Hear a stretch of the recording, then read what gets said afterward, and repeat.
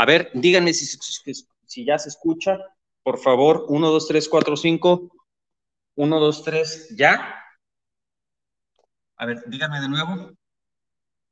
Guerrillos sin, sin fusil. Híjole, aquí no tenemos fusil. Ahí está. ¿Ya? A ver, díganme alguien por Facebook que ya estamos bien. Ya se escucha. Muy bien. Muy bien, muy bien, muy bien. Una disculpa por esta pesa de la gente que no tiene equipo. Vamos de nuevo. Hacemos la explicación de nuevo. Tres, dos, uno.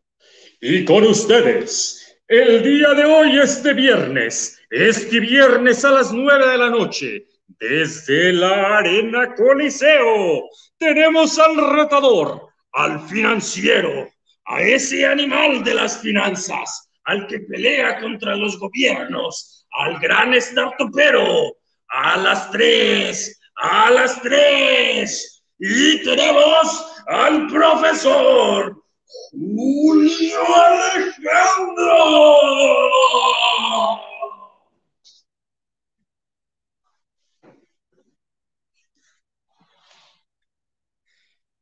Muy buenas tardes, estudiantes y maestros, distinguidos miembros de la audiencia. Estamos esta noche dispuestos a compartir el conocimiento sobre las tecnologías disruptivas, sobre la inteligencia artificial, el blockchain y las criptomonedas desde una visión teórica y académica para todos ustedes. Y en esta noche, entonces veremos cada uno de nosotros cuál es la posibilidad las características, las necesidades que cada eh, asesor financiero debería tener para que nosotros, como el cliente, como el customer, podamos entonces relatarlo.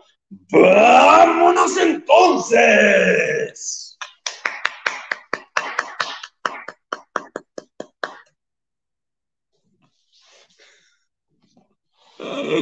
Ay, bueno, pues aquí, si no sirve, nos la cotorreamos y nos los cotorreamos muy a gusto. Muchas gracias de nuevo. Estamos a las 3 de la mañana, 3 con 20 minutos de la mañana, aquí en Londres, en el Collective, en el lugar para las startups, para los emprendedores, inversores y venture capitalists más grande eh, de Europa. Eh, y bueno, pues vamos a estar entonces platicando un poco sobre lo que creemos o lo que creo yo que es necesario eh, para tener un asesor financiero, una persona que custodie nuestro dinero, que determine qué tipo de instrumentos o productos financieros debemos comprar y que nos diga cuándo es que debemos meter el dinero y sacar nuestro dinero de acuerdo a cierto objetivo. Lo metemos hoy, en abril o en mayo, y lo sacamos en septiembre, en octubre, en noviembre cuándo y de, acuerdo a qué características. Todas estas eh, resoluciones, todas estas eh, problemáticas, cuestiones, uno se lo puede recomendar de manera directa, si es que me preguntan a mí, si es que le preguntan a un asesor financiero, a alguno de sus familiares que tenga mayor experiencia y conocimiento en los mercados, en las bolsas de valores, pero si es que no lo tiene, existe una figura, una profesión, una persona que debería tener experiencia y expertise muy avanzada en este tema de las finanzas que le pudiera ayudar. ¿Cómo es entonces que em, podemos encontrar estas personas? Muchas gracias a las personas que están conectadas, ya tenemos 150. Caramba, qué tarde, con razón te das ánimos, pues tal cual. Gracias por el esfuerzo, al contrario, usted me dicen, ya te está afectando la soledad híjole, es muy fuerte, es muy, eh, es muy cierto, es muy cierto, me está pegando aquí la, la soledad de una, una forma muy fea. Muchas gracias a Claude Locateno, a el chingón de Luis Antonio Herrero, eh, me volví loca, dice Alma Bustilla, que se repita. Sí, le prometo que sí le hago otra que se repite ya te escuchas fuerte y claro. No, pues muy bien.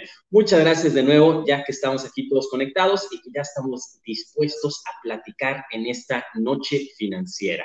Es broma. Aquí también estamos eh, eh, cotorreándole eh, muy a gusto. Muy bueno. Bueno, entonces, las características, ¿cómo es que nosotros recomendamos, los que trabajamos en bolsa, en inversión, en mercado, cuáles son cinco características que están apareciendo en su pantalla actualmente sobre las, las eh, cualidades, la experiencia, la forma y el estilo que debe tener un asesor financiero para que le recomiende en dónde y cómo invertir su dinero. Esto se da a raíz de que eh, en el programa anterior yo explícitamente le recomendé el no invertir en Bitcoin, en Dogecoin, en Ethereum y las criptodivisas.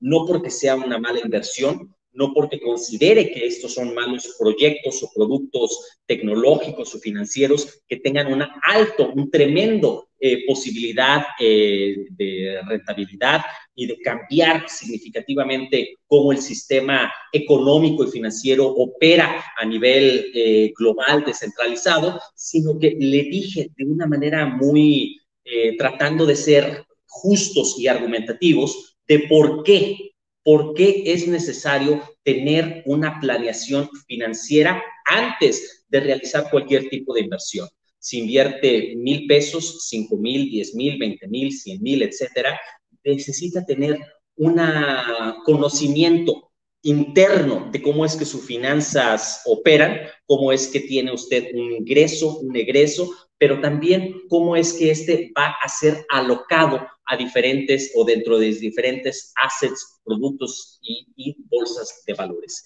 Entonces, lo primero que aquí, yo en Londres, yo contraté a tres asesores financieros, le voy a platicar un poquito de mi experiencia y eh, le voy a platicar, o quiero que entienda más allá de las precisiones y de los detalles, cuál es el background, por qué es que decidimos escoger este grupo de personas en lugar de los otros. Vámonos directo entonces.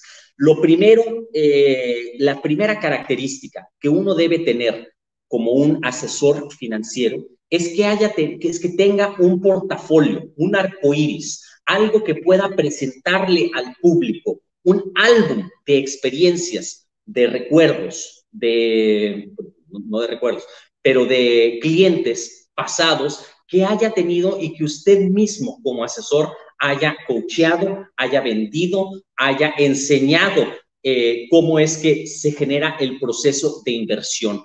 Eh, yo actualmente lo estoy haciendo eh, aquí mismo en el, en el Collective.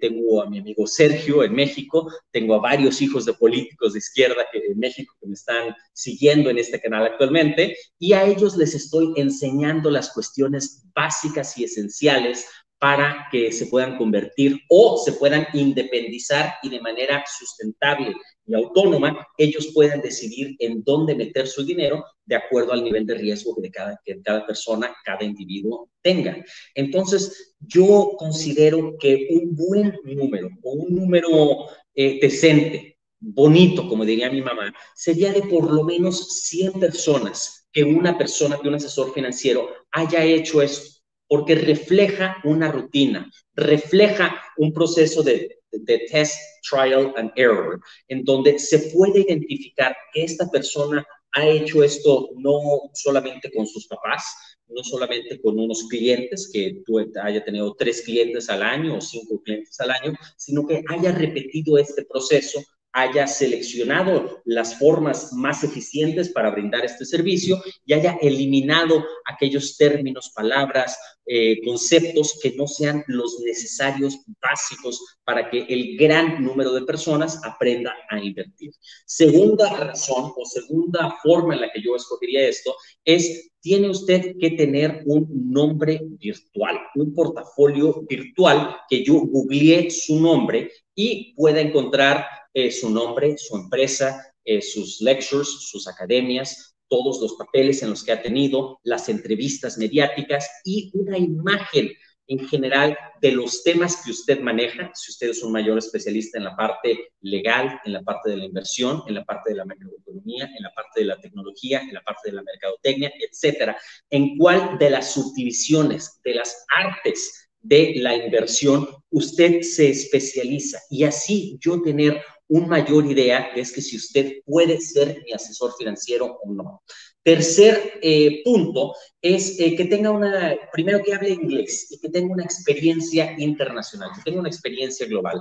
Esto es muy importante porque una persona o un asesor financiero que no maneje el idioma inglés con la misma fluencia o con la misma eh, nivel avanzado de conocimiento, de precisión, de exactitud, de cómo se dicen los términos en inglés, es muy probablemente que la persona no tenga eh, eh, no esté actualizada o no tenga el mismo nivel de actualización, porque hay muchas palabras, muchos conceptos, muchas plataformas y muchos productos, y el mundo en general de las finanzas existe en inglés predominantemente en Estados Unidos y en Gran Bretaña, pero por extensión también está en países como Canadá, como Kenia, como India, como Sudáfrica, como Nueva Zelanda, etcétera, etcétera, como Irlanda, en donde el inglés es el primer eh, idioma y uno se puede llegar a ver un poquito tonto, un poquito menso, si es que alguien le preguntaría, por favor, me puede decir que es un ETF en inglés y él estuviera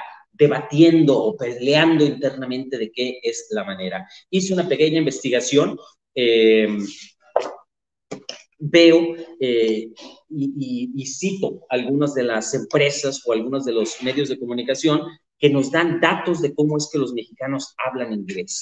En expansión, eh, dice que México pasó del número 44 al 57 en el año 2018 en conocimiento de inglés vamos para abajo cada vez más. Eh, en el Instituto Mexicano para la Competitividad, a la madre que se escucha, ¿lo escucha usted? Me están peleando, me están aquí haciendo bullying la gente por aquí. Eh, si se escucha muy fuerte, por favor, aquí dígamelo en los, eh, comentarios. Y bueno, el Instituto Mexicano para la Competitividad establece que el 95% de los mexicanos no hablan inglés. En Entrepreneur, el sitio web, establece que el 86% de los mexicanos no hablan inglés. En Forbes, la revista en el año 2019, establece que el 63% han perdido un empleo por no poder hablar inglés. Gran problema que tenemos. Aquí en este programa nosotros lo ayudamos y promovemos abiertamente el uso de anglicismos y tratamos de dar todas las explicaciones que podamos en el idioma inglés. Yes. Oh, okay, sure, sure, sure. Ajá, no problem. Ajá. I'll move in here. Bueno, pues aquí son las, las de tener estas cosas aquí. Gracias, gracias, amiga. Las inconveniencias de tener estas cosillas. Entonces me mudo para acá. Ah, ah, ah, ah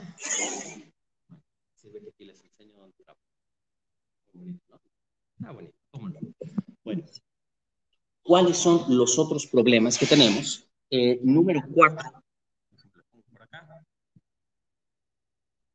Ya me corrieron, sí. ¿Qué hacemos? Eh, es muy importante que un emprendedor tenga experiencia afuera de lo que nosotros llamamos como el legacy system.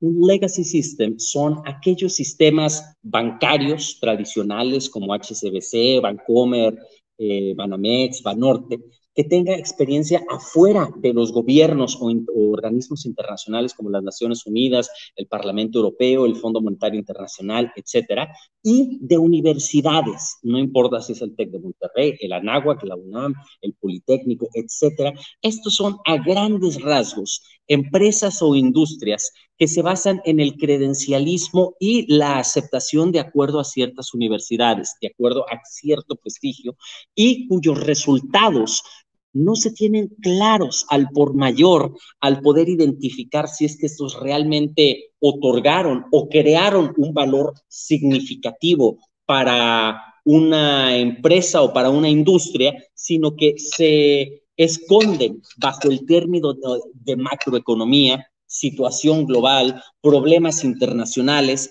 en donde si ayuda a un tema como el cambio climático, realmente es muy debatible si es que eh, la mejora o la empeora de este sistema o de este problema mejoraron gracias a su participación individual o si es que los medios de comunicación le dieron más importancia a esta persona, o si es que esta persona tuvo más suerte porque los grupos globales se acordaron en su favor. ¿Cuál es que esto fue realmente para un tema tan grande y complejo como el cambio climático, como el problema del agua, como los problemas interétnicos a nivel global y aquellas situaciones que una organización tan grande como Naciones Unidas o el Parlamento Europeo podría realísticamente realizar. Entonces, cuando nosotros encontramos o buscamos realmente a un experto en estas áreas tiene que tener más experiencia en el área de las startups, de los incubadores y de los aceleradores, de lo que se llama venture capital y cualquier forma de tecnología o, o, de tecnología futurística, no solamente en lo que se llama DLT, sino llamarlo DAO, no solamente lo que se llama inteligencia artificial, sino llamarlo deep learning.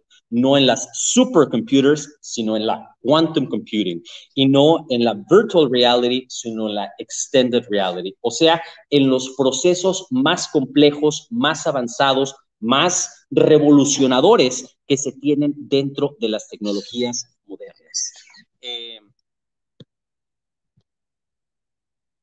el último tema que considero de gran, gran, gran importancia igualmente es el tema o, la necesidad que deberíamos tener. gracias, gracias, Miguel. Eh, de, los, de la necesidad de poder expresarse con claridad eh, independientemente de la complejidad del tema. La mayoría de, de nosotros, inversores, eh, inversores, tecnólogos, eh, profesionales, personas que juegan en la granja, los que llegan así y hacen y hacen cosas tontas así en este tipo de, de programas, pues la mayoría de nosotros deberíamos de poder explicar con peras y manzanas para el presidente de una nación o para las personas del pueblo al que se les trata de elegir, deberíamos de tener la capacidad de explicar todos estos temas tan avanzados en palabras chiquitas, reducidas, concretas y bonitas. Con sonrisas así.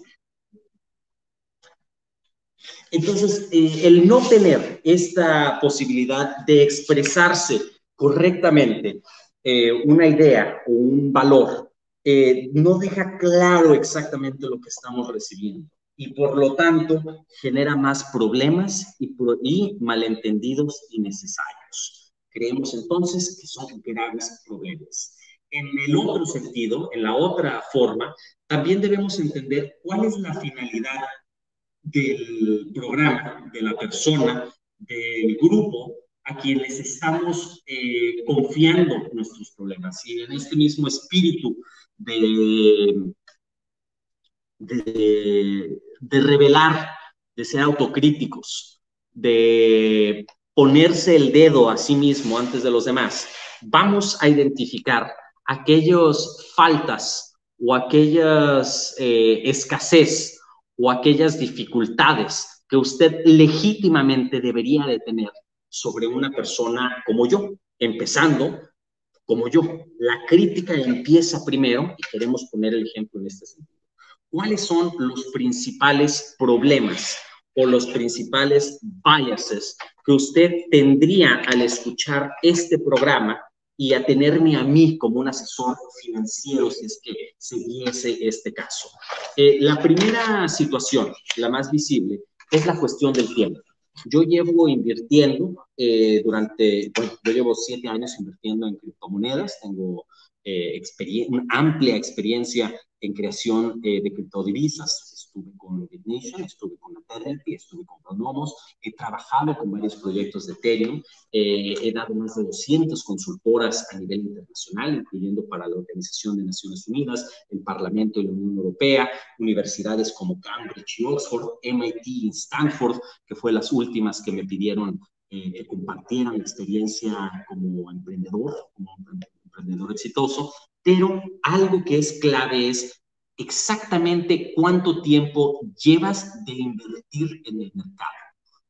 Por definición, eh, o por una eh, explicación, si lo pudiéramos dar, yo llevo seis, incluso tengo toda, todo esto, yo llevo en lo personal eh, seis meses de inversión en las finanzas institucionales, si así la pudiéramos ver, o sea, en los ETFs, en los bonds, en los bonos, en los CETES, en los futuros, etcétera.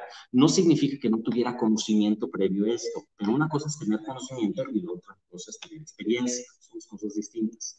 Si una persona no tiene un alto nivel de, de, de por lo menos dos, posiblemente tres, cuatro, cinco años de tener experiencia en este tipo de inversión financiera, realmente estaría un poco em, preocupado, estaría alerta de cuál es el conocimiento que estas personas nos están transmitiendo. Hay personas que tienen un alto nivel de de reputación, de credibilidad, que independientemente de lo que diga o del contenido, su reputación soluciona o, digamos, llena la parte del contenido. Hay otras personas que nunca los hemos visto antes, pero tienen tal nivel de elocuencia, de fluencia, de, de información, de lógica y de razonamiento tan fuerte que convence de acuerdo a su nivel de conocimiento. Y hay otros en el último nivel, lo que se llama patos, de acuerdo, porque no, no patos como pa, pa, pa, pa, pa, pa, pa, pa, pa, pa, pa, no, no, no, no. Estamos hablando de lo que, de, de patos, o fatos, más bien dicho, que son las formas eh, que significa emoción. O sea, cómo es que la gente es carismática, te cae bien, se pronuncia, está bonito, te dan ganas de escuchar a la persona y la retórica o la persuasión se da un poco más en la atracción que tienes en esa persona, como esa persona genera sentimientos, confianza, una emoción de proximidad, de que todas las cosas van a salir bien. Y esas personas pueden que no tengan ni el conocimiento, o sea, la documentación, la lógica, el razonamiento, y tampoco tenga una reputación per se, una credencial o credibilidad que alguien le da, de, a pesar de que no tenga estas dos, su credibilidad resuelve todas estas cosas. Hay que tener en cuenta mucho esto. El segundo tema o segundo problema que, vamos a encontrar en este tipo de programas es cuál es la experiencia comprobada de haber trabajado uno, dos, tres, cinco años en todos estos eh, en, todos estos, eh, en el mundo financiero, específicamente en el área que se llama investment banking.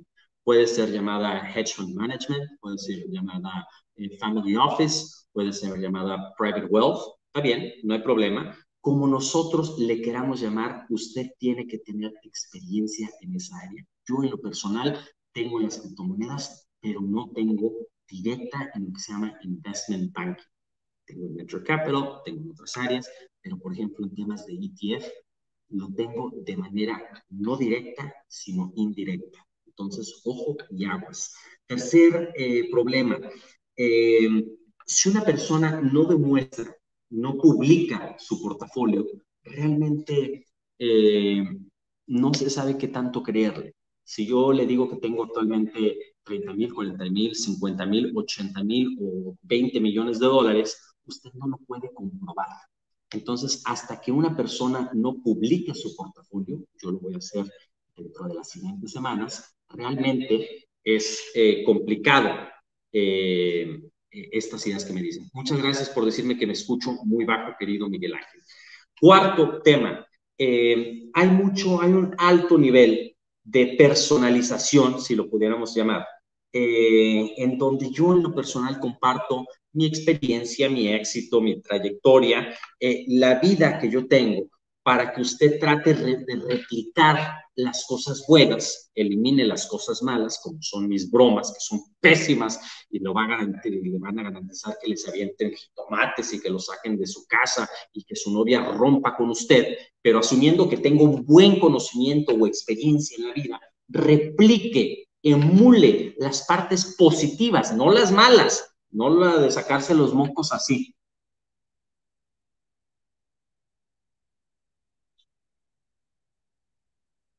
Ahí está. Ay, Dios mío, Dios me libre. Jesús esté conmigo y con su espíritu también. Eh, síganme diciendo, por favor, si es que sigue habiendo un problema de, audio, pero si no, continuamos.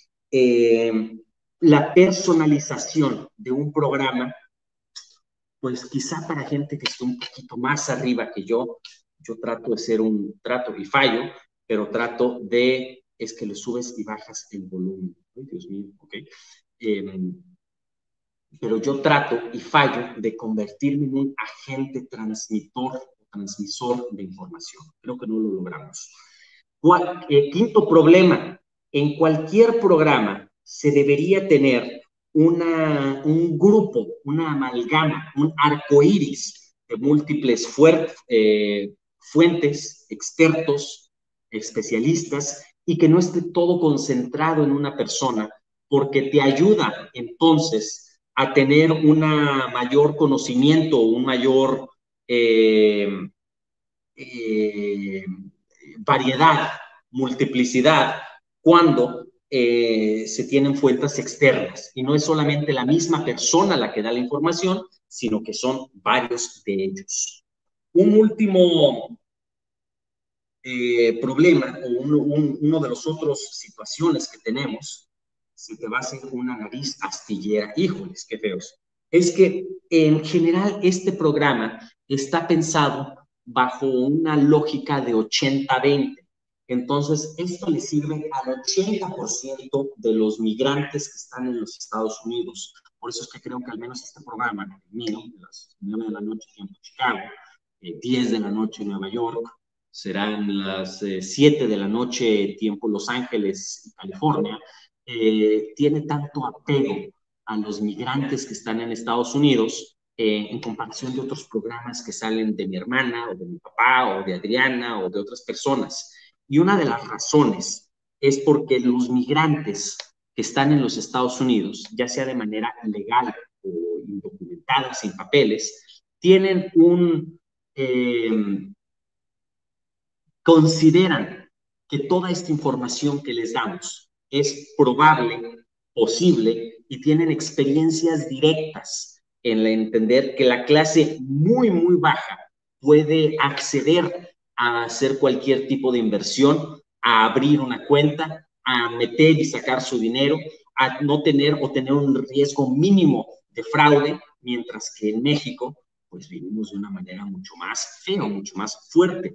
Entonces, este programa está enfocado al 80% de los migrantes que están en Estados Unidos. En México tenemos este problema cultural, legal, eh, mental, de que no consideramos o vemos las finanzas y la manera de hacer riqueza como algo complicado, inaccesible, donde hay muchos scams y donde realmente no sabemos si es que pudiéramos o no eh, subirnos a este tren de la inversión.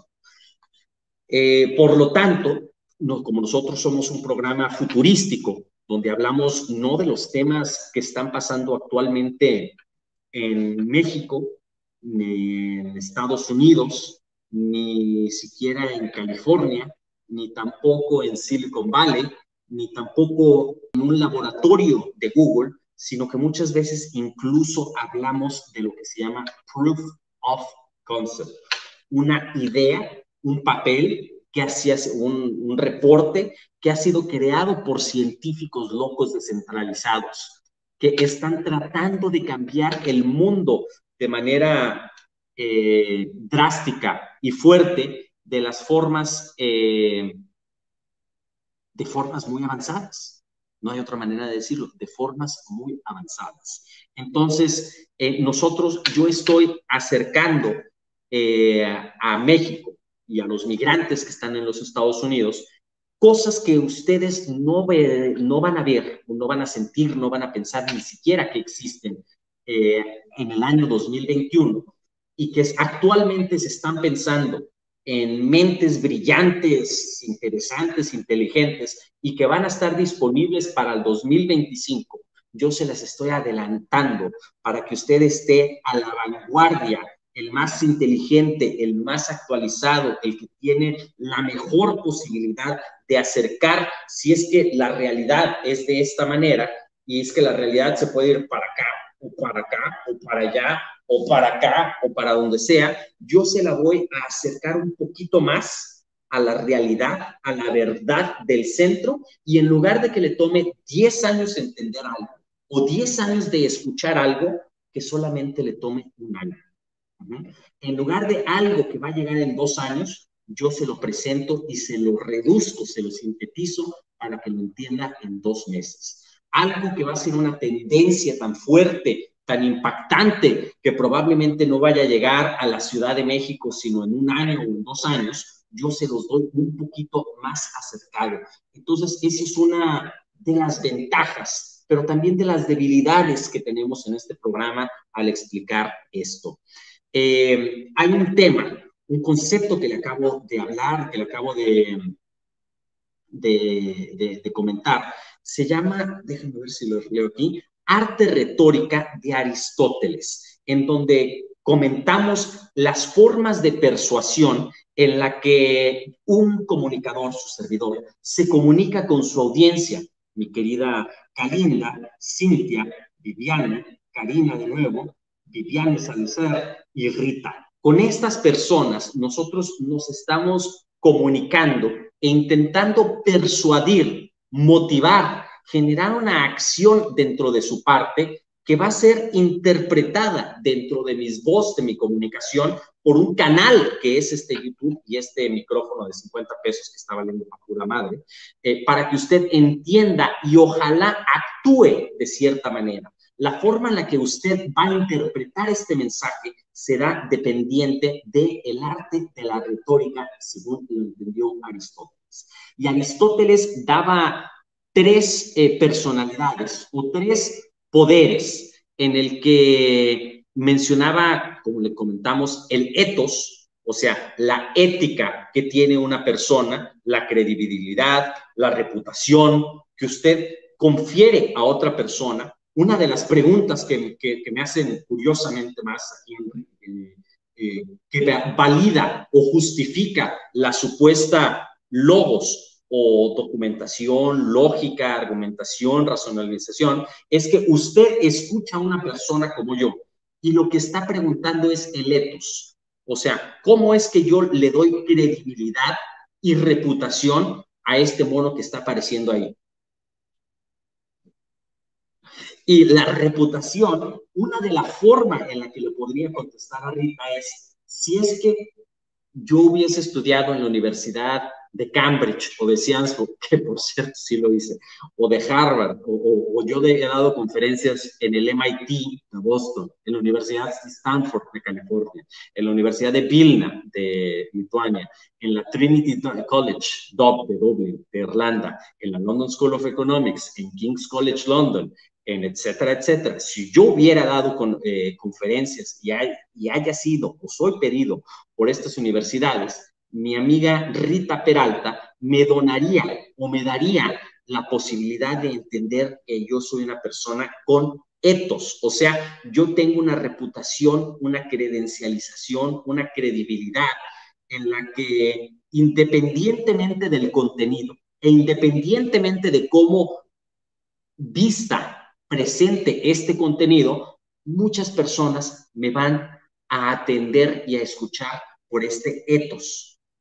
Hay otras personas que no tienen etos, que no tienen este sistema de credibilidad, de reputación, pero son muy elocuentes, tienen conocimiento, tienen razonamiento, tienen estadísticas, tienen una forma lógica de presentar la información y por lo tanto se le valida bajo el tema o el término del logos. Y por último, se tiene el tema del patos. De nuevo, no es el pato que le hace así, no, ese no, ese, no. Estamos hablando de esos patos. No se haga pato. Es el, patos eh, patogénico, eh, tiene que ver con eh, crear emociones dentro de la otra persona un sentimiento de inspiración y de esperanza.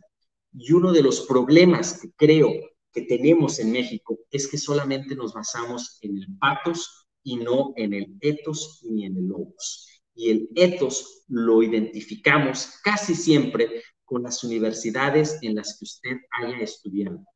En el nuevo mundo de la civilización descentralizada, futurística, disruptiva, es en donde nosotros estamos cambiando como cambiamos los medios de comunicación tradicionales, como era el radio, el periódico y la televisión. Y todo esto está siendo disrumpido o disruacahuaca por el Internet y ahora es más importante tener un canal de YouTube y una presencia en Facebook y en Twitter que tener un periódico que probablemente vaya a desaparecer en 5 o 10 años.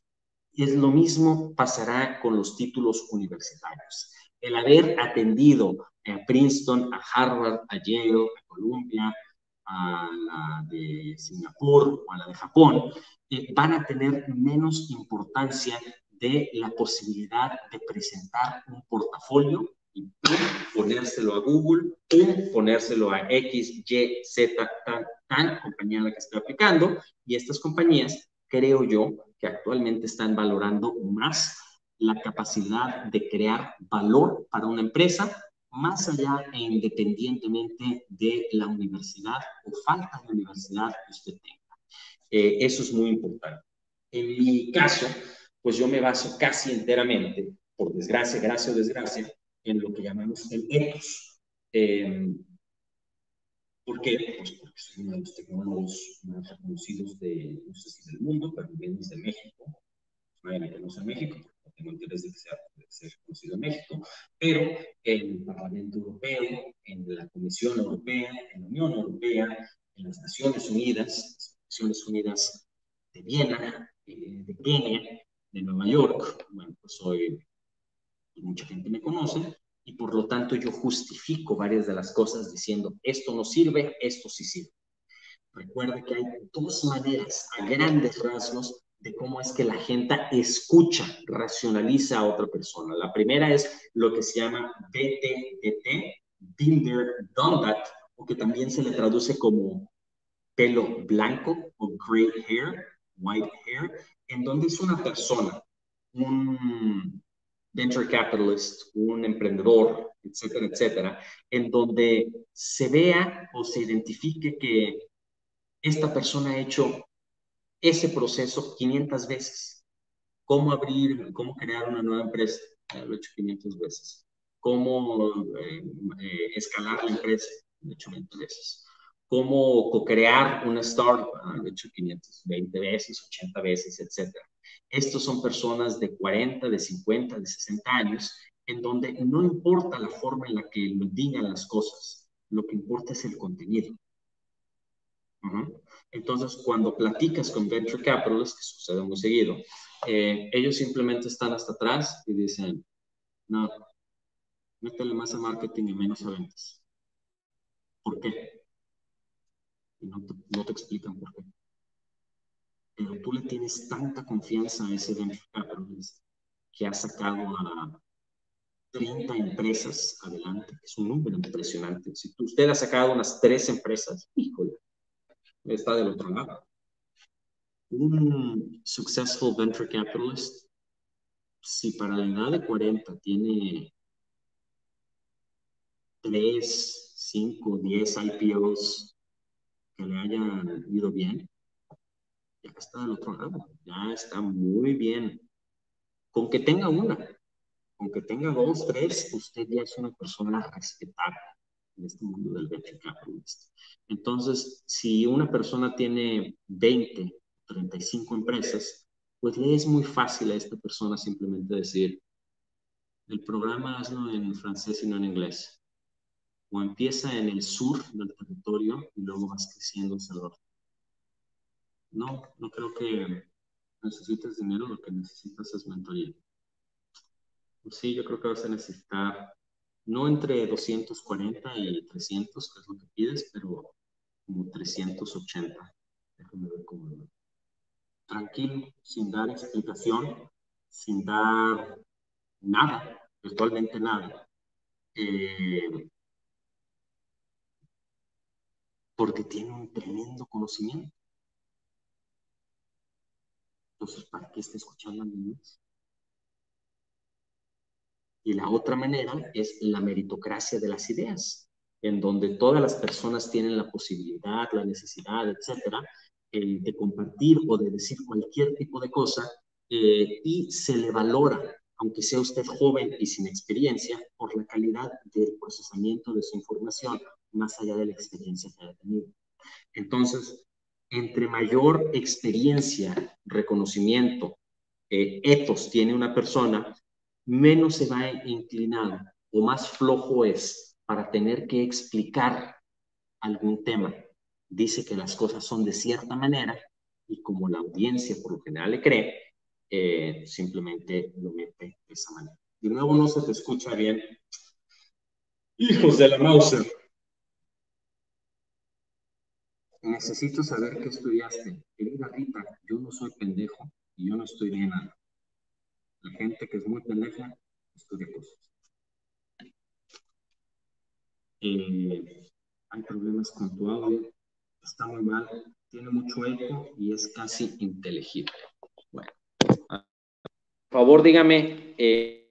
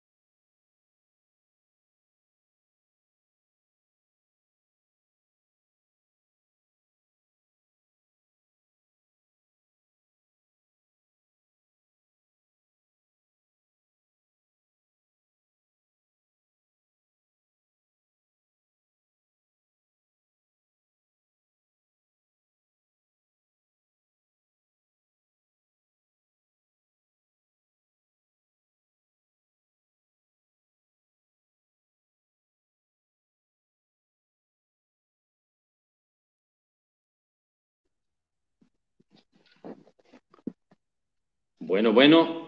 Uno, uno, dos, tres, cuatro, cinco, seis, siete, ocho. One little, two little, three little Indians, four little, five little, six little Indians, seven little, eight little, nine little Indians, ten little Indian boys. One little, two little, three little Indians, four little, five little, six little Indians, seven little, eight little, nine little Indians, ten little Indians, boy. Yay! Bueno, eh, por lo tanto, hasta que nosotros no tengamos un conocimiento eh, relativamente estable de macroeconomía, de finanzas, de ETFs y de mercados de valores, lo que se llaman legacy systems, debemos enfatizar eh, o debemos invertir en instrumentos de muy bajo riesgo, de muy largo plazo, que por lo general se recomienda como el Standard Poor's 500 y el Nasdaq 100 de los Estados Unidos. Dos ETFs, dos fondos que están indexados a la economía general, genérica, nacional del país de los Estados Unidos y de, eh, de eh, el mercado tecnológico de las Apples, del Uber, del Bumble, de todas las tecnologías eh, disruptivas que se concentran bajo el Nasdaq, específicamente el triple Q, QQQ, una Q, dos Qs, tres Qs del Invesco. Es lo que muchas personas o la mayoría, no sé si 5 eh, de 10, 8 de 10, 7 de 10 analistas financieros, le recomendaría a las personas en invertir su dinero y dejarlo ahí por algún tiempo. Hasta entonces, eh, las inversiones en las criptodivisas, en el Bitcoin, el Litecoin, el Dash, el Monero, el Zcash, si usted no entiende estas partes de eh, macroeconomía, de finanzas, de mercados de valores, usted está realmente jugando a la ruleta rusa cuando es que hace eh, simplemente una inversión sin entender conceptos básicos de economía. ¿Cuáles son entonces los recursos, los libros, los sitios webs que yo recomiendo, que he leído, que llevo manteniendo por al menos seis meses, algunos de ellos los he leído y los he seguido por dos años, tres años, cuatro años, cinco años, y siempre prometen eh, un alto nivel de información, de precisión, son justos y balanceados, pero sobre todo no son escandalosos, no tienen videos llamados o predecidos o que expliquen o que se digan nosotros cómo hacerte rico en un mes, cómo retirarte a, los años 35, cómo es que yo saqué mis primeros 10 millones de dólares. Todos esos videos que fluyen en el Internet y en México y en el, idioma eh, castellano, em, la gran mayoría de ellos son bullsheteros y son peligrosos. Son peligrosos porque responden y usan las emociones humanas, sentimentales, para tratar de vender productos y un estilo de vida y una forma que no se consigue ni rápida ni fácilmente. Todos los tipos de inversiones eh, son lentas, estamos hablando de años, probablemente de décadas. Se tiene que tener un buen conocimiento de un portafolio, de cuáles son los activos, tiene que entender cuál es la escuela económica que usted representa. La mía es la austriaca, de otras personas es el monetarismo, de otras personas el, el keynesianismo, de otras personas. Es el business analysis o business cycle analysis, de otras personas tienen una forma de entender la macroeconomía global, los problemas sistémicos de la infraestructura que mantiene y que genera el proceso de producción a nivel global, tenemos que entender cuáles son los anteojos mediante que nosotros entendemos estos problemas. Usted analiza el mundo de acuerdo de pobreza e inequidad o lo analiza de acuerdo a tasa de intereses y producción de dinero en una economía para regularla o desregularla o lo analiza mediante el proceso de la innovación y del emprendedurismo. Le acabo de definir la escuela austríaca de economía, la escuela de Chicago del monetarismo de Milton Friedman y la escuela keynesiana socialista redistributiva de él, la persona que nació en Cambridge, Inglaterra. Son percepciones, visiones, proyecciones para la economía y para la inversión privada e individual muy distintas. Es necesario entender esto. Y por lo tanto, se escuchan bien, muchas gracias. Eh, ¿Cuáles son los recursos que yo en lo personal recomiendo? Eh, aquí se los paso entonces. Primero y probablemente el más eh, importante, es una compañía que ya lleva décadas en el mercado, que ha producido cientos de videos cortos dos minutos, tres, cuatro minutos, con, que son interactivos, con gráficas, con colores, que te explica los conceptos más básicos y esenciales. ¿Qué es Fundamental Analysis? ¿Qué es Technical Analysis? ¿Qué es un Stock Exchange? ¿Cuál es la diferencia entre un index, mutual y otros tipos de funds? ¿Cuáles son los ETFs más importantes de los Estados Unidos? cuáles son las diferencias que se tienen. TD Ameritrade es una de los brokers, de las investment platforms más importantes en los Estados Unidos y que da este servicio de pedagogía, de educación, de videos gratuitos y libres en el Internet que usted puede acceder.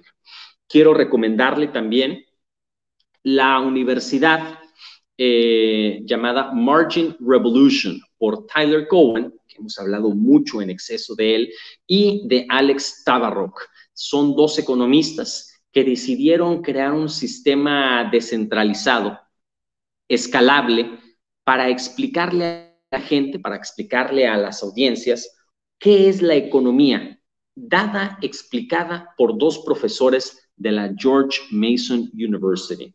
Sasha Yanshin es también un matemático de la Universidad de Oxford, graduado, que creó su canal hace aproximadamente un año.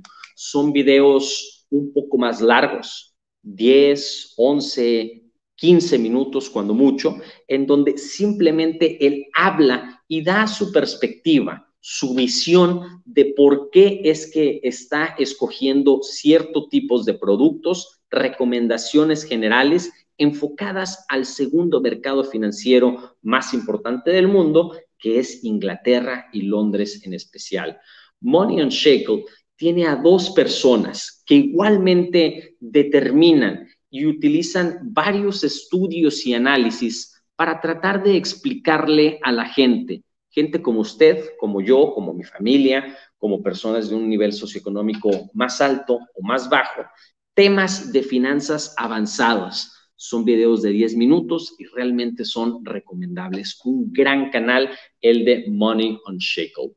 Y por último, a un personaje famoso en el mundo del Twitter, porque bloquea a todo mundo, pero que ha creado la serie de cinco libros llamado Incerto o Inserto, como incierto, en donde se tiene uno de los más famosos, el llamado Cisne Negro, que establece qué pasa si es que ante la aleatoriedad, vulnerabilidad, necesitemos entender una u otra cosa.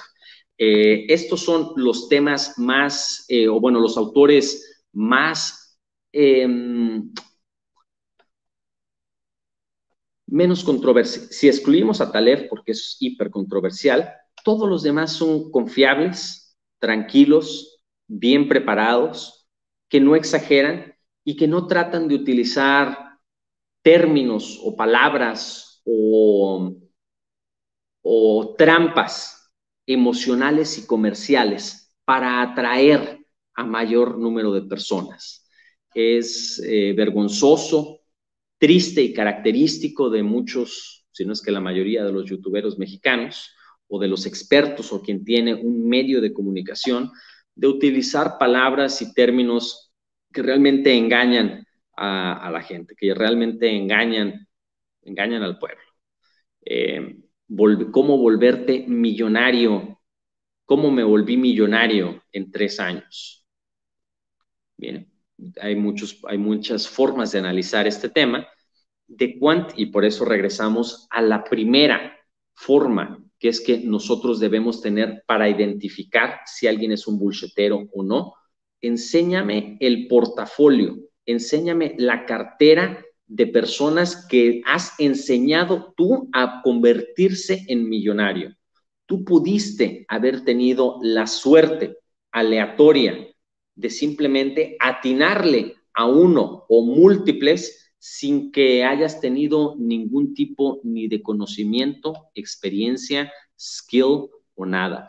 Quiero darle un ejemplo para que usted me ayude o para que comprendamos ambos este sistema aleatoriamente, si hay mil personas viendo este programa actualmente, de esas mil personas, 500 y nosotros jugamos cara o cruz en un volado con una moneda, 500 van a salir cara y 500 van a salir cruz.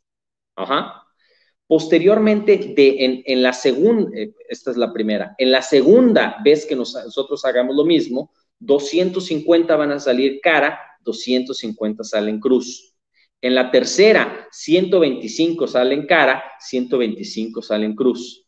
En la cuarta, 64 eh, salen cara, 64 salen cruz. En la quinta, 32 salen cara, 32 salen cruz, etcétera, para que en cinco veces, en cinco años, que usted analice su portafolio de cómo es que éste se comportó, estadísticamente 32 de mil personas aleatoriamente en esta lista van a ser, van a, van a tener mejores resultados que los demás. Estos son los Warren Buffetts, estos son los Jack Bowles, estos son los Alibabas y estos no son ni ustedes ni yo. Una de las cartas más importantes del grupo de austriacos o de la economía austriaca es la aceptación de la imposibilidad de entender sistemas complejos en donde millones o cientos de millones de personas hacen transacciones cuasi inmediatas de acuerdo a sus valores subjetivos que ellos tienen sobre la interpretación de nueva información que se refleja en forma de precios. Esa es la definición de la Escuela Económica de Austria, basada en Hayek, von Mises, Rothbard y los grupos de anarcocapitalismo y cypherpunk que crearon posteriormente Bitcoin y las criptomonedas, que nos ayudan a entender cómo, por qué es que los mercados se tienen que entender de cierta manera. Los mercados fueron creados o diseñados de forma orgánica, autónoma, autóctona, sin la necesidad de una planificación central. Estas son las dos formas que nosotros tenemos de entender estas ideas.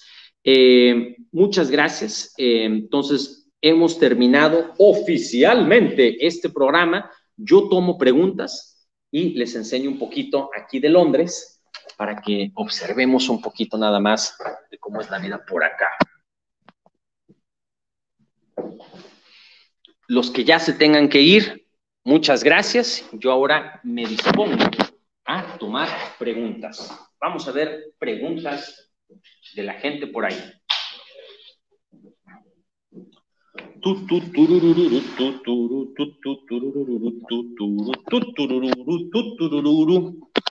Y tomamos la primera pregunta que nos viene de los charlatanes salen presumiendo caros, mujeres, joyas y todo es rentado. Es posible. Eh, y peor en un país como México, en donde aquí en Reino Unido tú puedes ser presumido. Eh, no estoy diciendo ni promoviéndolo, pero las posibilidades de que te secuestren son nulas. Eh, de que te roben o que te asalten son muy bajas, son de las más bajas en, en Europa y en el mundo. Pero en México alguien que presume pues estás diciéndole a la gente que eres narco o, estás, o, te estás poniendo a disposición de los mismos narcotraficantes. Entonces, ¿para qué presumir tantas cosas si no se necesitan tan fuerte? Eh, ¿Para cuándo una clase de la escuela austriaca comparada con la keynesiana? Eh, nosotros quedamos en un acuerdo no escrito con mi papá de que no hablaría de política económica. Entonces, eh, es muy importante entender esta gran diferencia que representa eh, los dos polos opuestos de la economía, que ahorita misma le voy a dar la, breve clase eh, o la breve explicación de las diferentes formas de lo que se llama capitalismo, neoliberalismo, liberalismo clásico, libre mercado y, y partes similares. A grandes rasgos hay seis escuelas o subescuelas de economía de lo que llamamos capitalismo.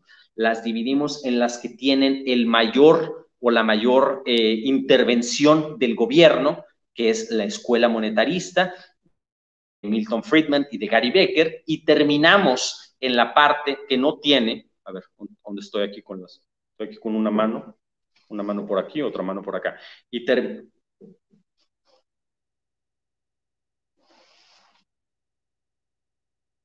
alguien me está jugando. ¿Por qué no se ve esta mano? Ándale.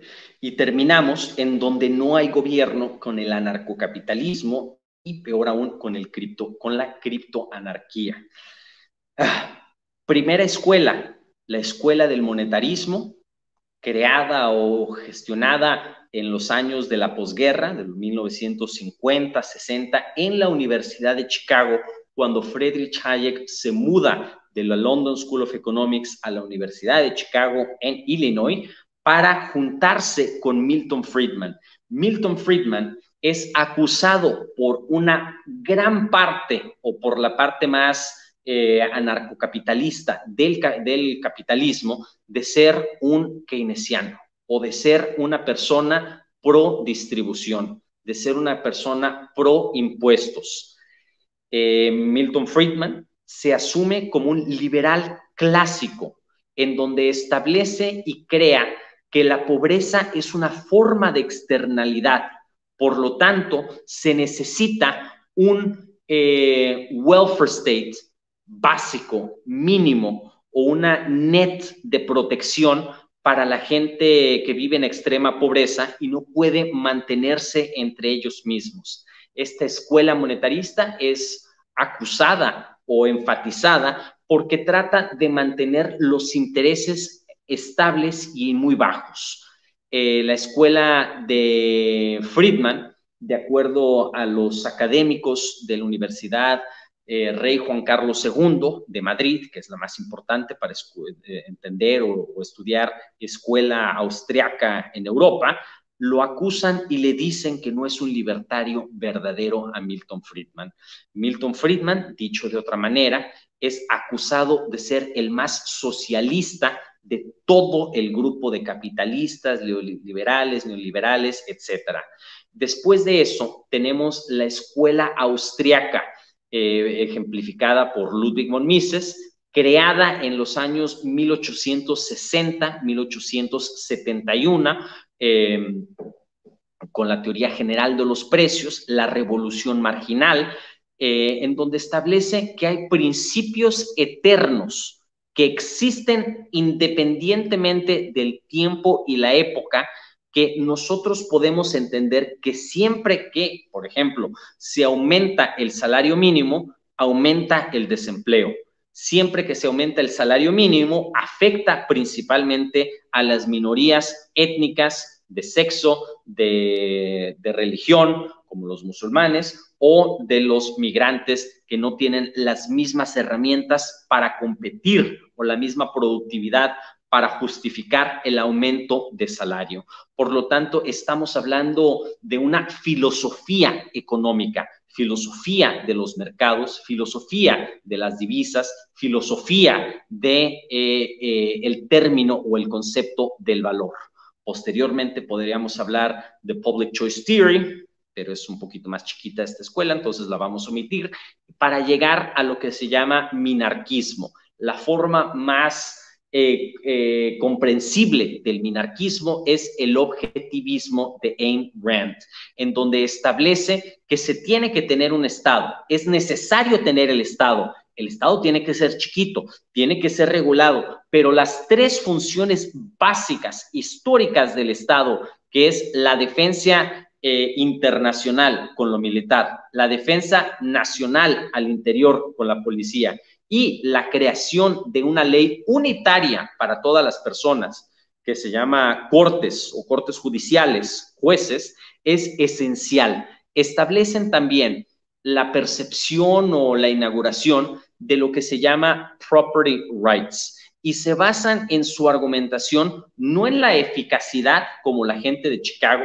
La gente de Chicago analizaría dos ciudades, como puede ser eh, Chicago contra San Luis o México contra Guatemala, o Europa contra el Nasdaq de Estados Unidos, Canadá y México, eh, un problema de la inflación contra el desempleo, eh, el acceso contra la movilidad, eh, la migración contra, etcétera, y analizaría estos dos lugares. Vamos a poner Guadalajara contra Monterrey. Y diría que si Guadalajara crea políticas de libre mercado, comparativamente va a crecer en todos los sistemas, en todos los criterios, las características, más rápido y más fuerte que Monterrey, que en este caso hipotético se ha mantenido con políticas socialistas, redistribucionistas, proteccionistas de izquierda.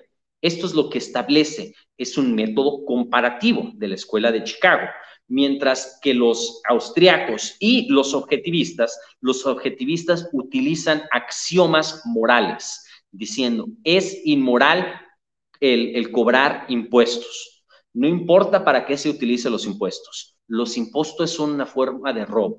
No puedes forzar con una constitución democráticamente electa a hacer algo a una persona que no lo quiere hacer. Si esto no genera una externalidad, si no afecta a los bienes públicos, uno no debería de pagar por esos servicios. Y por último, está el grupo de los anarcocapitalistas que piensan que todo debería ser privatizado para que en una economía de mercado, dicho de otra manera, en una economía en donde unas cosas, eh, en donde todo sea eh, comercializado en la bolsa de en, la bolsa de valores, en los mercados de valores, en los mercados de oportunidad, no existan eh, un sistema judicial, sino que exista un mercado que permita la creación de múltiples sistemas judiciales. Entonces, habrá un sistema judicial para mí, para Irram, para Rita, para 55, para Rodrigo, para Pablo, para Susel, etcétera, etcétera, etcétera. Cada individuo tendrá que, cada individuo puede escoger su computadora, puede escoger qué tipo de libros va a comprar, qué tipo de notas va a tomar, en dónde es que va a vivir, cuál es el color de su, ¿cómo se llama? De su luz, qué tipo de cojines va a comprar y cuál es el arte que mejor le convenga. En un libre mercado, uno puede escoger todo excepto su gobierno. Entonces, en un sistema anarcocapitalista, tú podrás escoger tu gobierno con las tres características esenciales que es la creación del Estado-Nación desde 1648, 1817, 1871 y la descolonización de África y del Medio Oriente en los años 50, 60, 70, 50 y 60, en donde se crearon las concepciones modernas del Estado-Nación. Entonces, esta es la parte anarcocapitalista y una versión un poco más fuerte es del criptoanarquismo, en donde se utilizan tecnologías de encriptación para eliminar todas las acciones que una persona haga. Entonces, no dejar una huella digital, la tecnología más poderosa es Monero para los criptoanarquistas. Entonces, tenemos a los criptoanarquistas, a los anarcocapitalistas después, después están los objetivistas, después está Public Choice Theory, después están los austriacos y después están los de Chicago.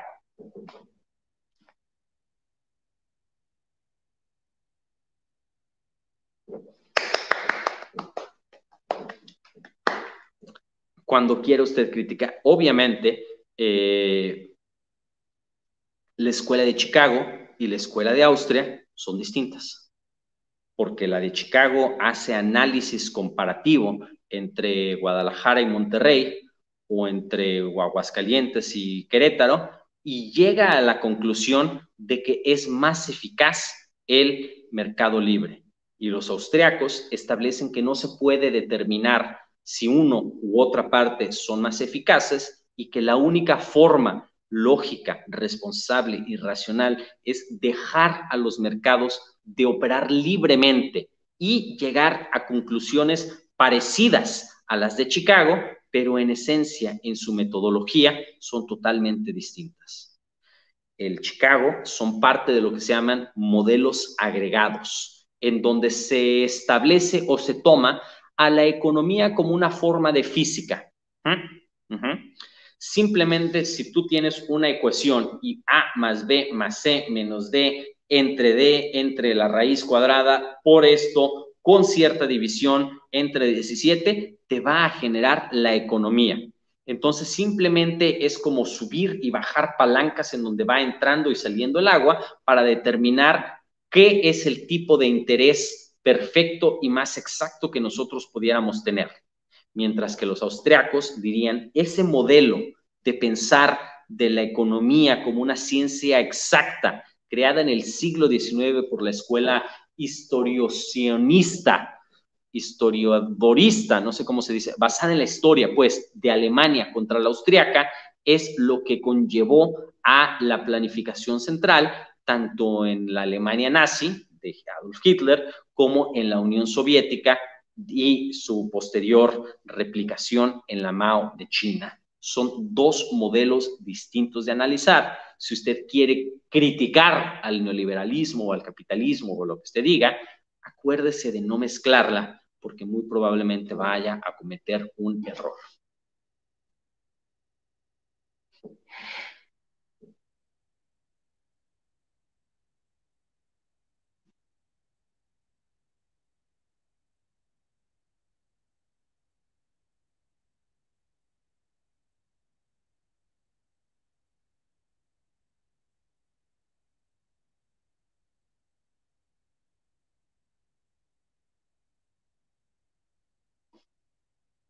What's up with my accent, homie?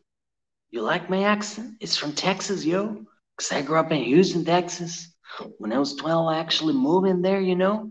I was a young kid, but I still do those kind of things. Eh, nombre, otro vende humo. No habla de nada que no le convenga a su bolsa. A ver, diga las cripto. Esto es uno de los... Eh, vamos a tomar otro de los ejemplos sobre cuáles son las cualidades que se tienen que entender, mi querido Susel, para invertir. No importa, vamos a repetirlo porque lo hemos dicho en varias veces, pero hay que decirlo de nuevo para que se nos quede, para, para, para que no se nos vaya. No importa cuál es la promesa de la cantidad de retorno. No importa si te prometen que son 5%, 200%, 2500%. ¿Quién es la persona que se lo está vendiendo? Se acabó. Si la persona que se lo está vendiendo puede demostrar que ha realizado este mismo movimiento para 100 personas en diferentes años, tiene testimonios de estas personas, videos, y se los puede demostrar, usted tiene un nivel superior para confiar en esta persona. Esa misma información no la va a encontrar solamente eh, en lo que la gente le diga, sino que va a tener una huella digital muy fuerte en donde tendrá muchas vistas, una red social fuerte, recomendaciones distintas, entrevistas por medios de comunicación, universidades que le piden que vaya a dar conferencias, etcétera, etcétera. Y por último, si esta persona le está pidiendo o diciendo que pagan un rendimiento del 8% mensual, abro un paréntesis, ¿qué tipo de pendejo se le puede ocurrir que esto es cierto? Perdón que lo diga de esa manera, pero la mayoría de la gente que está con nosotros no entiende una chingada de inversión. Lo que un bajo nivel de inversión que le puedan dar, estamos hablando del 3, 4%. Mediano, 5, 7%. Un buen nivel de inversión, 9% al año. Al año. Cuando alguien le ofrece que va a tener doble dígito, o sea, más de 10, 10, 12, 15, 20, 25, por naturaleza sea desconfiado. Hay muchos canales en México y muchos bullsheteros que en su vida los aceptarían en un lugar como aquí donde estoy viviendo, eh, pero te dan recomendaciones y te dicen que es muy fácil, que tú puedes invertir y que sacas, o que sacas 10, 15, 20, que no es difícil. Eso realmente es su responsabilidad porque no son formas o no es información que no esté disponible en línea. Hay que ser muy truchas en ese sentido, mi querido.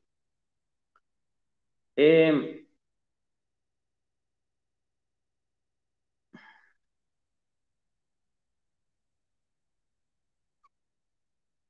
¿Cómo te, autocalificas como asesor financiero? Buena pregunta, mi querido Javier. Em, aquí en Reino Unido y en México, eh, meten a la cárcel a la gente que se autodenomina como asesor financiero si es que no han tomado un curso gubernamental que acredite y provea una licencia burocrática para poder llamarte de esa manera. Estas son las formas en las que se crea pobreza, porque evita que la gente que vaya aprendiendo mediante estos programas como los que le estamos comentando, universidades online como los de Coursera, eh, productos de MOOC como los de Linda en LinkedIn, o simplemente una persona que se ponga a leer, que agarre un libro de finanzas y entienda, no le bullsheteo, pero que agarre un libro como este y se ponga a entender de finanzas. Esto es lo que yo hago. Investment Management Certificate. A mí nadie me pagó, nadie me dijo si sí o no. Simplemente me asumo como lo que soy, que soy un experto en blockchain, soy un experto en criptodivisas, en criptomonedas, en economía austriaca y en economía y tecnologías comparativas y convergentes. Esto es más allá de los certificados que una persona pueda pueda tener. Lo mismo pasa con otros términos, como por ejemplo los em, eh, eh, el término de profesor. Si hay universidades que son virtuales, pueden haber profesores que son virtuales también. Si hay periodistas que no publican en un periódico, pueden ser periodistas también. Esta misma pregunta se la realizaron hace 15 o 20 años, cuando apenas estaban haciendo los blogs, los portales en línea como La Silla Rota y el mismo portal de juliastillero.com, las redes sociales como Twitter y YouTube, en donde empezaban a ver personas que de su profesión entera no tenían un periódico físico, pero publicaban información veraz día con día. La descentralización y las civilizaciones del futuro no estarán basadas en la autorización o falta de autorización por una autoridad central. Ajá. La centralización, lo opuesto es la descentralización. Ajá. Cuando nosotros ubicamos o identificamos que una persona no se puede llamar como un inversor, no puede ser llamado como un doctor, no puede ser llamado como un em, experto o especialista en un área porque no tiene un papel gubernamental. Estamos metidos en el mundo de la centralización hacia un futuro que va a cambiar y esos monopolios van a dejar de existir, mi querido Javier e. Bonilla. Muchas gracias. ¿Cuánto tiempo crees que tarde México en cambiar de mentalidad con respecto a lo que comenta? Pues el tiempo en el que la gente no haga preguntas idiotas. Si alguien tuviera alguna respuesta semilógica o posible para este tipo de preguntas, pues la daría. Hay que recordar que hay preguntas que no tienen respuesta. Una de esas preguntas es, ¿Cómo es que se va a comportar el mercado financiero mañana? Uno lo puede decir que va a crecer y el otro puede decir que va a decrecer. Uno puede decir que va a aumentar en 5% y el otro que disminuye en 8%. Uno puede decir que va a crecer en Inglaterra y el otro puede decir que vaya a decrecer en Japón, en Nigeria, en Colombia y en Italia. Todo esto es especulación. Por lo tanto, cuando usted escucha a un grupo de personas platicar o decir con conocimiento de causa, con una confianza interna, decir, no, eh, deberías invertir en oro, ¿eh? El oro va a crecer, va a crecer muchísimo. Por definición, aléjese de esa persona. Uno puede dar argumentos de cómo es que él entiende que de acuerdo al comportamiento de la economía, de los políticos y de cierta políticas sociales, se considera que un mercado vaya a crecer o decrecer, pero asegurarlo, firmarlo o decirlo desdeñosamente es lo que Friedrich Hayek estableció en 1974 como el, la pretensión del conocimiento. Por eso ganó su premio Nobel. Por eso Friedrich Hayek es conocido porque estableció y demostró, tanto él como Ludwig von Mises en el cálculo económico del socialismo, que no es posible anticipar el futuro. No es posible establecer cómo es que millones de mentes están tomando decisiones sobre comprar o vender cierto tipo de compañías o activos de alguna manera. Las computadoras no lo pueden hacer. Cuando nosotros sentamos a un café o a un restaurante, muy probablemente ni siquiera sabemos qué vamos a ordenar. No sabemos si preferimos un café a un té y si la mesera nos presenta con una alternativa, probablemente alcancemos o llegásemos a tomar esa alternativa. Esa es la gran diferencia, que nosotros no pretendemos poder controlar, anticipar o incluso realísticamente entender qué es un mercado. Em, En tiempos de la Madrid Hurtado, muchos mexicanos se lanzaron a invertir en bolsa y como en 1987-88 vino el crack financiero y perdieron sus ahorros.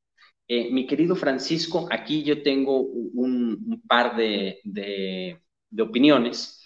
Por lo general, las em, industrias per se no necesariamente pierden. Eh, perdió en la, en la crisis del Internet en los años 90, pierden cuando hay una crisis financiera como el año 2001, con el atentado de las Torres Gemelas, lo que tenemos o lo que sabemos es que por lo general cuando se invierten en índices como el Standard Poor's, el Nasdaq, el Dow Jones, el FTSE en Inglaterra, el Nikkei 225 de Japón, etcétera, el, CAC 40 de Francia, el ICP 35 de México, también 35 el IBEX de España, etcétera.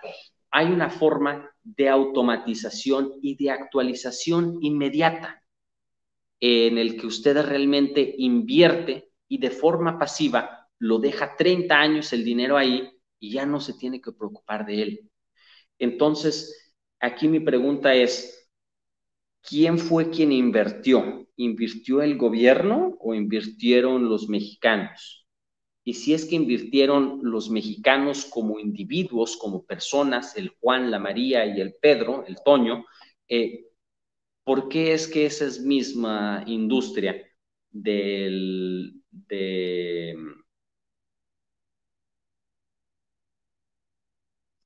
bolsa y como en mil. No tiene sentido lo que dice mi querido Francisco. Ojalá y, pudiera entender un poco más, pero no tiene mucho sentido. Em, a ver, espera un tantito. Eh, ok. Ese es uno de los problemas. Sí, muchas gracias, mi querido Miguel Ángel, pero tener la aprobación de una persona como Julio Astillero pasa por em, Mira qué casualidad, que es mi papá. Entonces, esto inevitablemente se podría llevar a la percepción de nepotismo o de que estamos ayudando, eh, de que el papá está inflando al hijo, cuando en realidad, pues el hijo es uno de los tecnólogos o el tecnólogo más importante de México. que ya tiene su propia trayectoria, lo dije la otra vez y, se me vinieron encima. Yo vivo en, yo tengo en estas aguas calientes y usted vive en aguas calientes. Hasta que las personas, hasta que yo no encuentre a un grupo de personas que estén aquí en Cambridge, en Oxford, en MIT, en Stanford, en lo general no me importa mucho cuál sea su idea o su pensamiento o su falta de pensamiento. Hasta que no lo haga las ligas mayores, son personas con opiniones. Tal cual.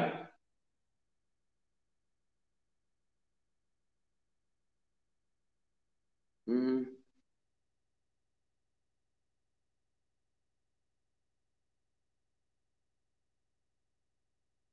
Mi querida Rita, usted es la primera que se viene por acá o igual y no ha estado en ocasiones anteriores explícitamente recomendamos el no estudiar en universidades. Es una pérdida de tiempo, es un proceso de credencialismo barato. La mitad de la gente que estudió en el TEC de Monterrey en la carrera de Ciencias de la Comunicación del año 2006 a 2012 no debió graduarse ni de la preparatoria. Son una vergüenza las instituciones privadas de México. No importa la universidad, es lo que le llevamos repitiendo desde el primer programa. Eh, ¿Se puede consultar su cartera? La respuesta es sí, sí. Eh, eh, voy a cambiar de mi proveedor que actualmente utilizo Notmeg y 212 a eToro para que sea pública y la gente que tenga interés la copie, la vea, la analice, que haga lo que quiera. Bueno, entonces, eh, vamos entonces ahora, a ver si tenemos todavía un poquito de, tiempo y de batería. 30%, hay que ver cómo, cómo le hacemos. nuevamente para despedirnos de todos ustedes, pues aquí les enseñamos el lugar en donde humildemente pues estamos aquí cotorreando. Este es el lugar de los emprendedores, este es el más grande de toda Europa, tiene 20 pisos, tiene, eh, aquí es en donde, ay, espérame tantito, aquí es en donde trabajamos, son las casi las 5 de la mañana, por cierto. Aquí es en donde están mis amigos musulmanes de Ramadán. It's 5 a.m. and you're still awake. It's 5 awake and you're still awake. Oh, sorry. So, Miss, very good. I'm, I'm, I'm live streaming. No worries. I'll put it here. Uh, to Mexico. It's a TV program that I have. Hola, a TV program. Yeah, yeah, you can see. Uh, we're, we're live when we have like 200 people. So I was just giving like a lecture about finance and, and economics. Viva Mexico. Hola, ¿cómo está? Más fuerte, más stronger, stronger. Ajá. Stronger. Um, love you. What, what, what's happening tonight? What is it today? Oh, it's, uh, we just did our fast. We're almost into well, it's Ramadan. Es- Ramadan. And uh, Julio is our guest, and we like having him around. He also likes to give us a history lesson. So, um, there you go. Uh-huh. I love my people in here. Um, we just ate food. We just packed up, and you missed the feast. I- Next I missed the feast. join us. Definitely. It's one of our last days, so and we're in the last ten nights, so I'm trying to catch the Lalita Qadra, which is like the 90th degree. So um, and and look what they gave us these t-shirts. Lower, lower your gaze. gaze. That's fantastic. And if you look really close, you'll see a little shukran. And that's our Shukran. Shukran, Habibi. One Ah, for me, Shukran, and one for Habibti. Ahmed. Apparently we're the leaders of the group. I don't, I don't feel that's Voila.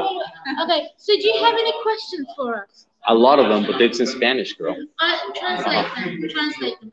Let me let me give a, a round in here, but I'll come back. Okay. ¿Va? Ajá. Muchas gracias. Es mi amiga Gracias. aquí que, que- y son las 5 de la mañana y todavía están platicando y aquí es en donde rezan para el Ramadán. Muy bien.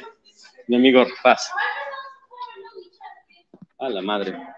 Bueno, eh, bueno, pues aquí se tiene mucha, mucha, mucha, mucha, mucha eh, forma de entender, pues cómo todos aquí son, bueno, la mayoría son emprendedores, startups, inversionistas, venture capitalists.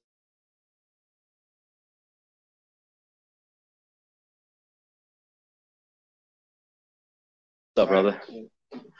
Entonces aquí uno se pone aquí a trabajar. Les quiero enseñar este edificio que es uno de los más bonitos de todo Canary Wharf. A ver si lo alcanza a ver.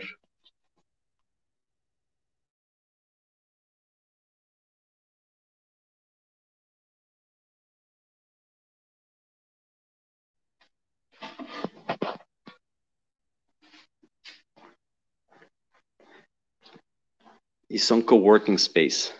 Entonces aquí la gente deja todo lo que quiera para ponerse a jugar. Aquí está el Xbox.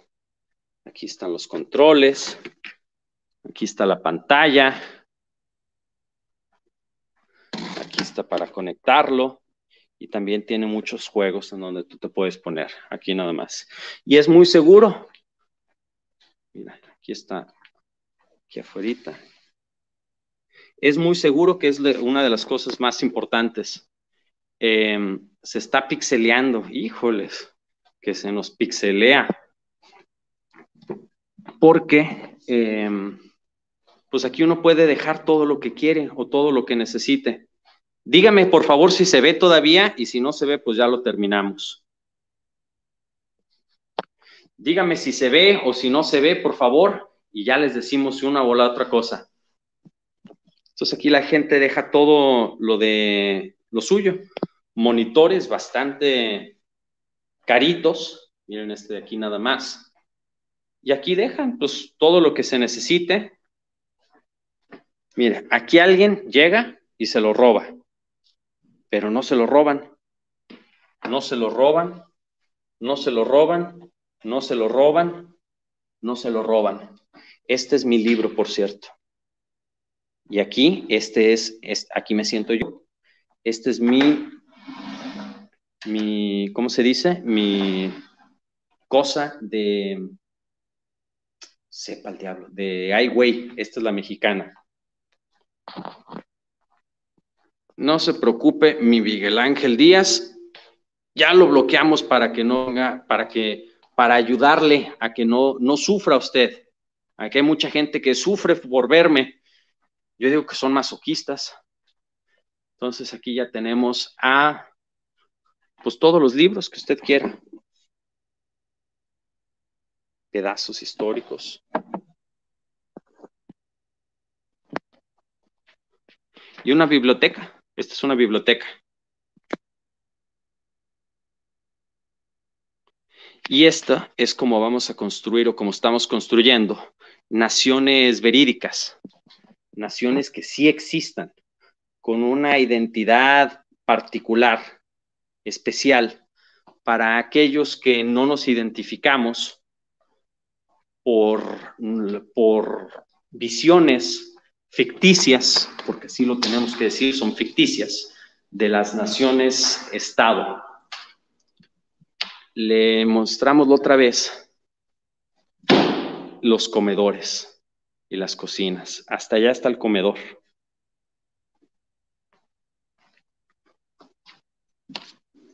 ¿Qué es eso, querido Sayel? Yo no entiendo qué es eso que me dice usted. Y aquí le pone, y si ponemos el piso 20, me voy a subir, entonces espéreme tantito, espéreme un minutito. Ay, güey, está loco.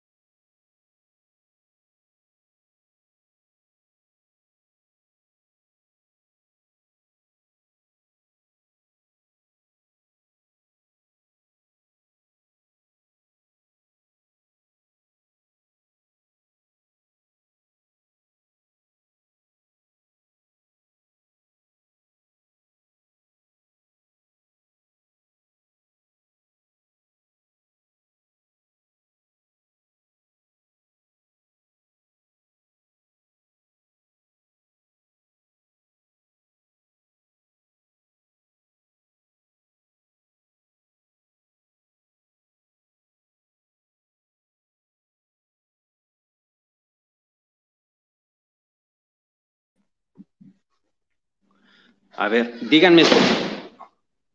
No, ya estamos de regreso. Eh, por favor, díganme si, están viendo esta pantalla y si la ven, pues ya la hicimos y si no, pues ya veo que ya no hay auditorio, que ya no, está nada, que ya se fue toda la gente. Eh, ojalá y esté viendo, ya regresó. No, se cayó. Dice, ya regresó Juan Carlos. Alguien en Facebook, por favor, que me mande este mensajito. Eso es tocho. Entonces, este es Canary Wharf. Ay, güey, a ver. Este es el distrito de los negocios financieros de Londres. Ahí abajo está el río. Ajá, es la continuación del río Tamesí. Y estos son los edificios. Ajá. Está muy bonito. Está muy padre. Sí, sí, está muy padre, querido Arturo. Y así está, o sea, pues aquí es en donde se vive y este tipo de apartamentos queremos hacerlos, maximizarlos, primero para que todo mundo tenga acceso. Déjame, no, no, a ver, a ver, no, no, no, no, no, no. Eh, para que quien tenga el deseo no le sea demasiado complicado el acceder a este tipo de lugares. Son dos cosas distintas. Aquí están los lockers. Me imagino que está cerrado. Sí, está cerrado. Pero mira, esta es la alberquita.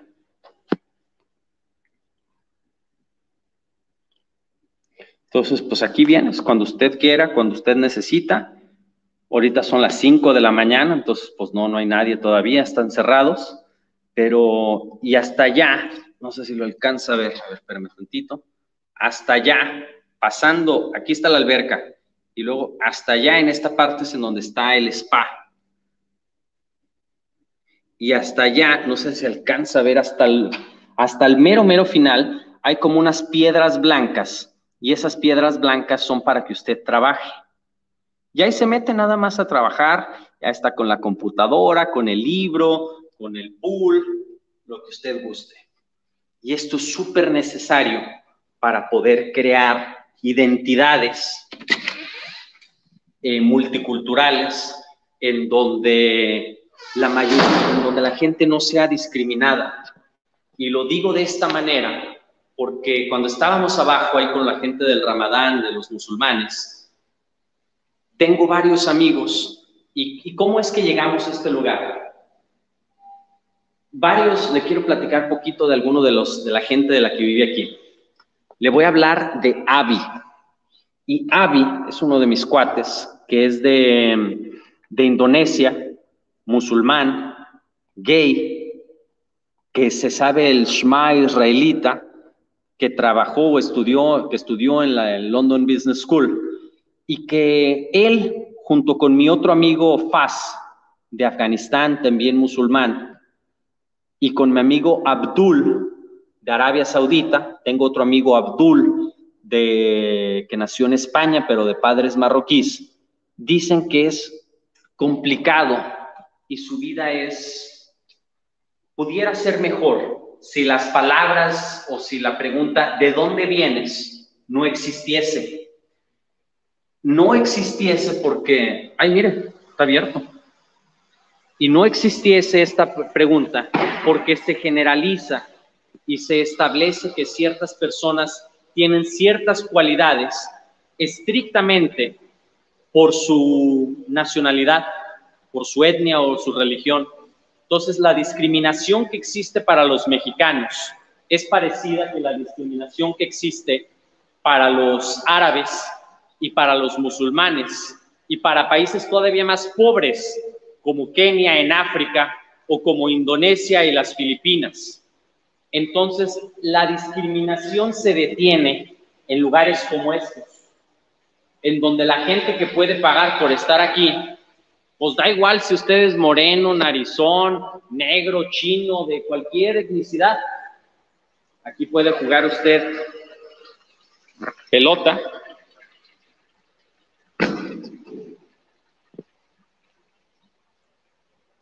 Este es el restaurante.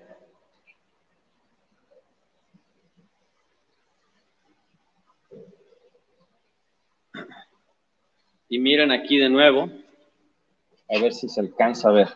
Ese de allá es lo que se llama la arena O2, este de acá. O2, que es todo un paraíso, es un mall gigantesco.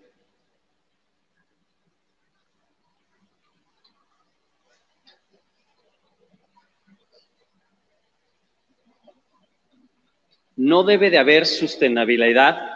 La respuesta es que sí, pero la otra respuesta es que si tenemos energía eléctrica permanentemente, eh, se gasta muy poco dinero y se aprovecha en su máximo. Miren, aquí está el sauna. A ver si se alcanza a ver. Y el steam, este creo que se dice vapor en español.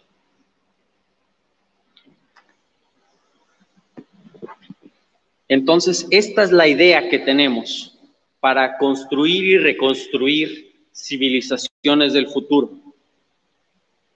Si tengo chance, voy a... Si tengo chance, la siguiente vez le platico de... Eh, me doy una vuelta yo a Canary Wharf, aquí en donde vivo, y le enseño cómo están las cosas. Si son emprendedores y apenas van iniciando, ¿cómo hacen para financiar ese estilo de vida? Eh, respuesta muy rápida. Si usted trabaja, si usted hace código, usted puede hacer, eh, acceder a este estilo de vida. Si usted se pone las pilas y aplica por una visa llamada Tech Nation Visa, esto que le enseño no es algo imaginario e imposible. Esto es posible.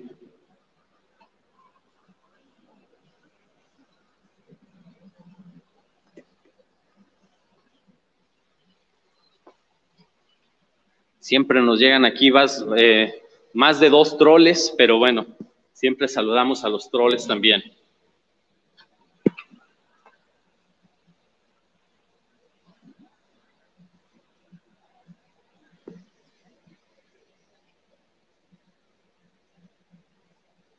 Cuando se menciona que perder talento, pues lo que ha pasado, mi querido Juan Carlos, pues es que México perdió un talento que se llama Julio Alejandro. Y Julio Alejandro prefiere vivir aquí que vivir en Aguascalientes.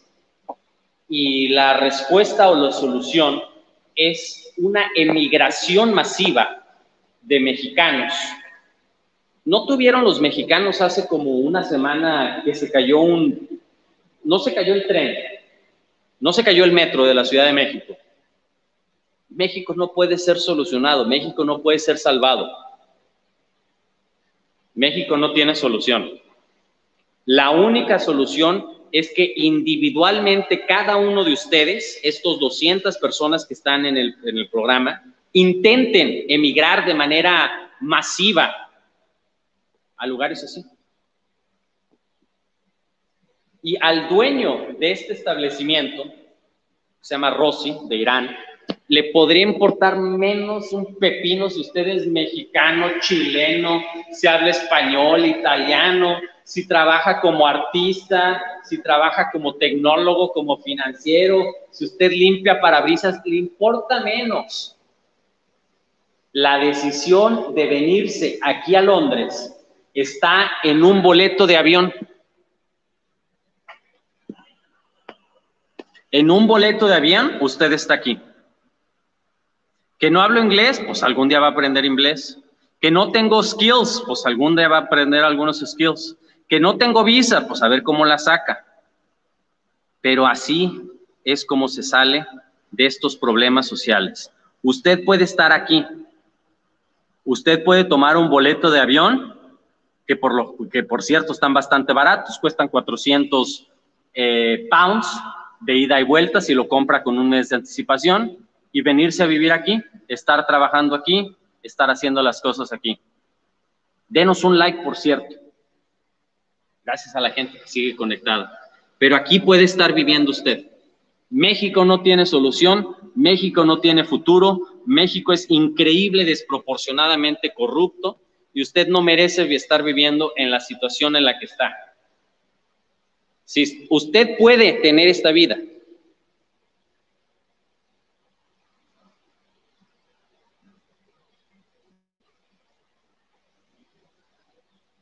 Usted puede tener esta vida.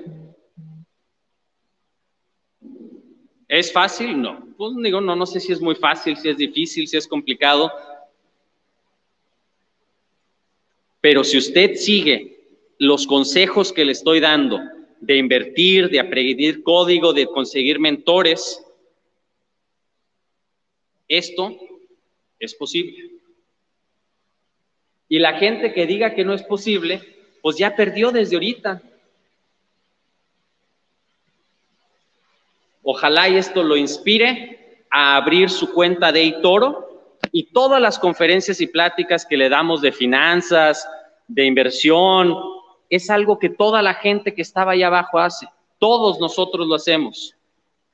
Y gracias a esto, gracias a estas posibilidades, pues el mundo puede ser mejor porque, por cierto, este, este lugar en donde estamos está como al, no sé si al 70% de, de, de, ¿cómo se dice? De ocupación. Entonces, necesita gente que venga a vivir aquí.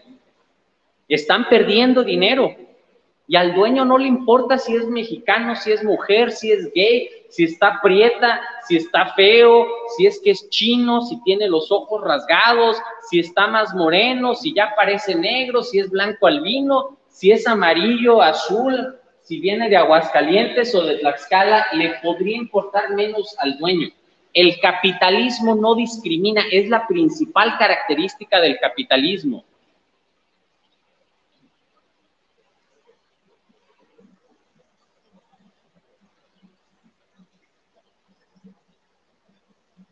Muchas gracias de nuevo. Saludamos. Que tengan muy buena noche. Pásesela bien. Nos vemos.